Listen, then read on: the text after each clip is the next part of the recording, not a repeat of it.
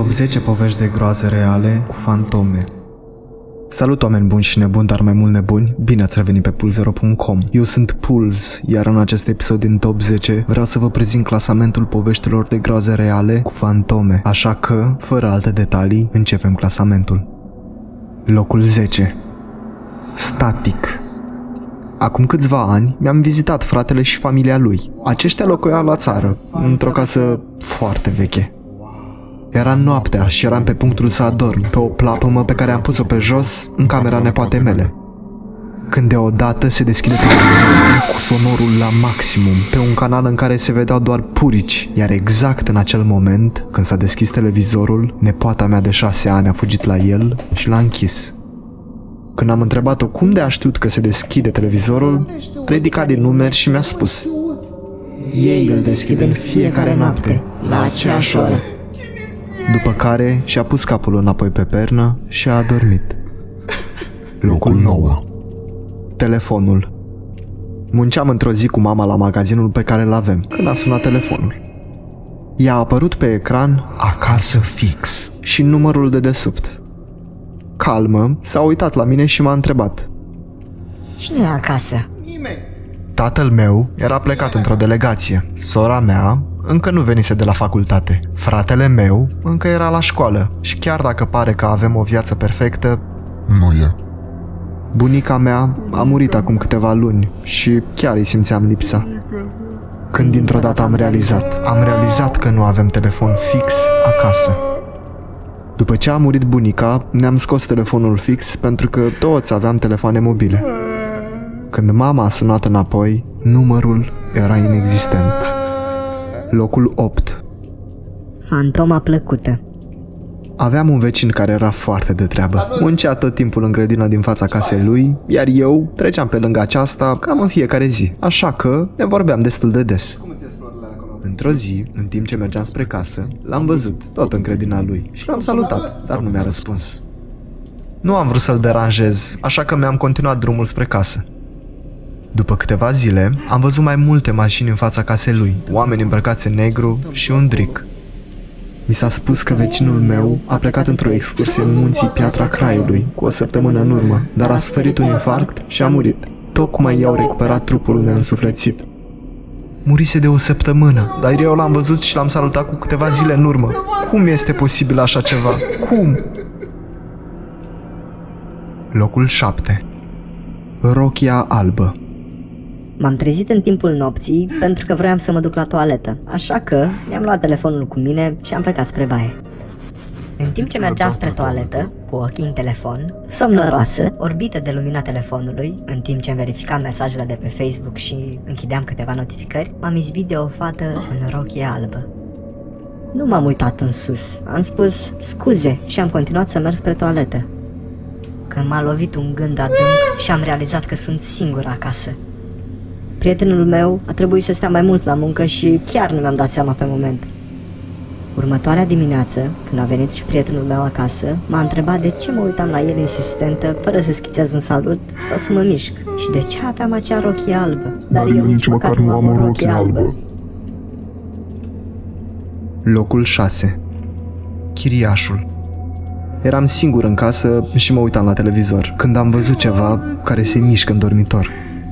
M-am uitat mai atent și am văzut un om care iese din dulap și merge încet spre partea cealaltă de cameră. S-a oprit, s-a uitat la mine și a pus un deget la buze și s-a întors cu spatele. Avea sânge pe față și lipsea o bucată din cap, după care a dispărut înapoi în dulap. Ne-am mutat când am aflat că acea gaură misterioasă din tavan era de fapt din cauza chiriașului care a stat înaintea noastră. Acesta s-a împușcat exact în camera în care noi dormeam. Nici nu m-am gândit că dormeam pe creierii și sângele șters al unui om. Mă gândeam doar la ce am văzut. Și dacă ne-ar fi privit în timp ce dormeam. Locul 5 Copilul prietenos Lucrez în domeniul funerar. Vând pompe funebre, Îmbălsamez. Mă ocup de tot ce ține de această parte pe care unii o consideră morbidă. Totuși, mi s-a întâmplat ceva foarte deplasat. Nici nu știu cum să descriu, dar am să încerc. Cea mai ciudată experiență pe care am avut-o a fost în momentul în care am bălsamam un copil, când am simțit cum cineva mă trage de păr. După câteva minute mai târziu, am auzit cum cineva se hilizește, iar ușa de la cameră se trântește cu putere. Radioul s-a oprit și eram într-o liniște copleșitoare. Nu m-am gândit prea mult la acest lucru. Am zis că e vântul, iar radioul a pierdut semnal. Dar după ce am terminat de îmbălsămat trupul neînsuflățit al copilului, am simțit o atingere și o căldură ca și cum un copil m-ar îmbrățișa. Locul 4 Fețele din noapte când eram copil, ne-am mutat într-un apartament în care un om a fost omorât, iar în fiecare noapte, sorara mai mare îmi spunea să închid geamurile de la cameră. Așa făceam de fiecare dată atunci când mă culcam, deoarece parcă mi-a indus această stare de frică, iar imaginația îmi pulsa doar coșmaruri, pentru că atunci când mă uitam pe fereastră, Vedeam trei fețe care se uitau la mine. fețele nu aveau păr, nas sau chiar gură, ele se uitau doar la mine. Nu păreau că vor să-mi facă ceva, dar suspinam în mine și mă rugam să nu fie adevărate. Credeam că este doar imaginația, iar după ce mă calmam, parcă îmi revenea privirea și tot, Totul devenea mai clar. iar fețele dispăreau. Acum câteva luni, familia mea vorbea de apartament și de motivele pentru care locuim în el, chiar dacă e ieftin. Cineva a fost omorât și nu credeau că este bine pentru mine. M-am băgat și eu în discuție și le-am spus de fețele care mă privesc atunci când mă uit pe fereastră. Surioara s-a întors la mine șocată și mi-a spus că Și ea l-a văzut. iar din cauza asta îmi spunea să închid geamul de fiecare dată atunci când mă bag în pat. Locul 3 Momentul mamei Acum câțiva ani, eram la mine în cameră și mă jucam pe calculator, când am auzit ușa de la intrare cum se deschide, iar mama intră în casă. A, A strigat, strigat. Alex, am venit! Și părea că se chinuie cu niște sacoșe grele. M-am ridicat de la calculator și m-am dus pe hol. Dar nu era nimeni.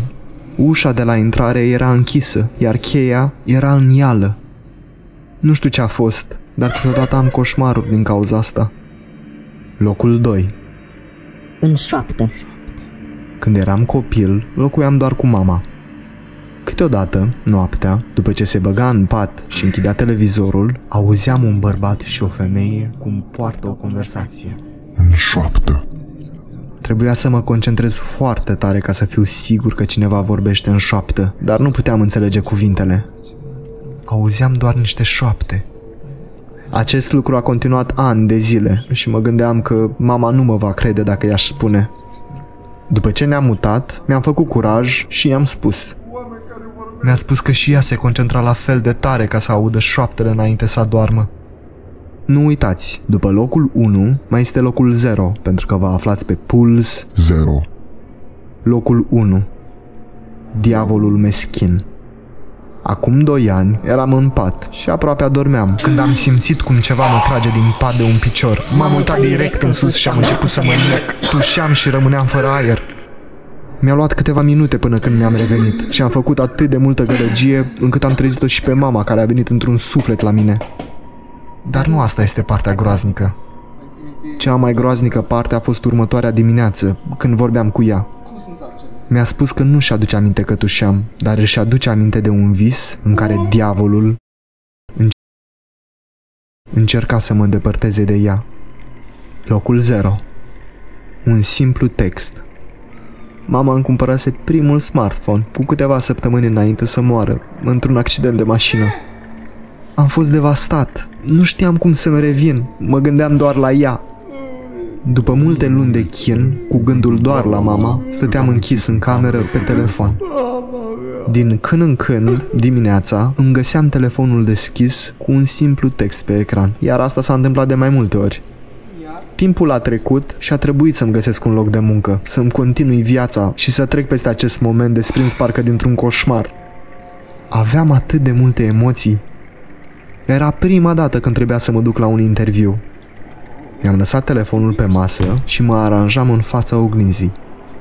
După ce m-am făcut frumos, m-am dus la masă să-mi iau telefonul. Ecranul era deschis și scria Și? Ce mai faci? Lacrimile au început să curgă puhoi pe față. Cum te simți? Acestea erau vorbele mamei atunci când vorbeam la telefon. Am încheiat clasamentul. Înainte să închei videoclipul, vreau să vă spun primul comentariu pe subiect de la episodul anterior. Nu mai dorm la noapte. Și să vă arăt secvența necenzurată. And Rockstar, fuck you Rockstar, fuck you. Din fericire, Cosmin Ferecatu a știut secvența cenzurată din episodul anterior, iar ca recompensă apare 10 secunde chiar acum. Salut!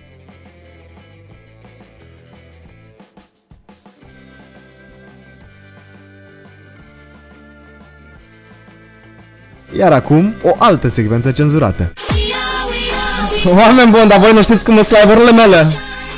E prima oară, dacă e prima oară când sunteți aici, mai durează un pic. Știi videoclipul cenzurat? Lasă un comentariu cu puls, urmat de titlu, link și timp. Recompensa este 10 secunde din următorul episod din Top 10. Află mai multe detalii pe pulzero.com.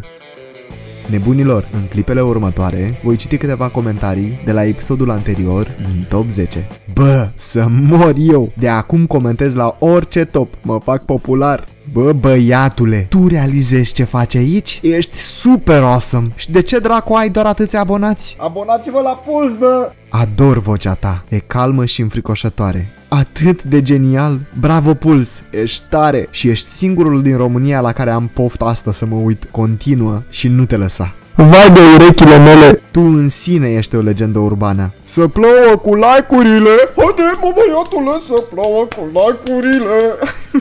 Nu vreau să te schimb niciodată. Ești awesome. No, mersi. Acum mă sperii de orice sunet aud. Puls, what the fuck? M-am căcat min. Hai bă, mă fac și eu fanatică. Uite, iubesc, Puls, ești cel mai tare. Uh, iubesc ceea ce faci. Uh, bravo! Nu uitați, dacă comentați la acest videoclip, puteți apărea în următorul episod din Top 10, dar și în clasamentul nebunilor de pe pulzero.com.